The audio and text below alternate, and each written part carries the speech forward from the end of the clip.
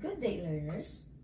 So, just like the nature of the roots of quadratic equation, did you know that you can also identify the sum and product of the roots of a quadratic equation even before solving it?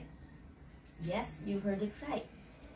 All you need to do is to apply the formula in finding the sum of the roots and the product of the roots of the given quadratic equation. It's raining hard, but the learning must continue.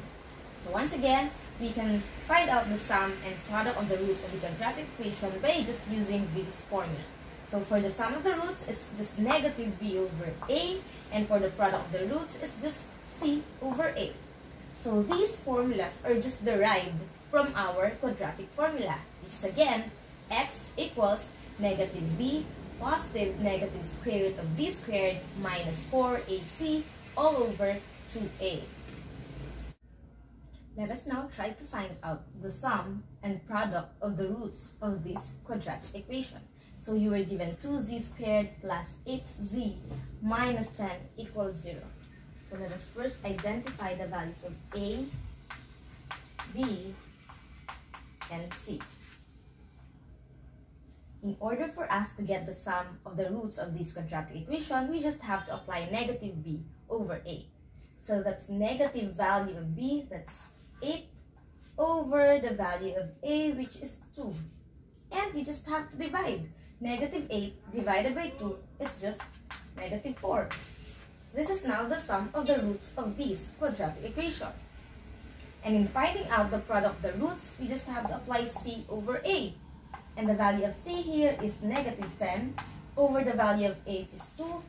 Negative 10 divided by 2, simply negative 5.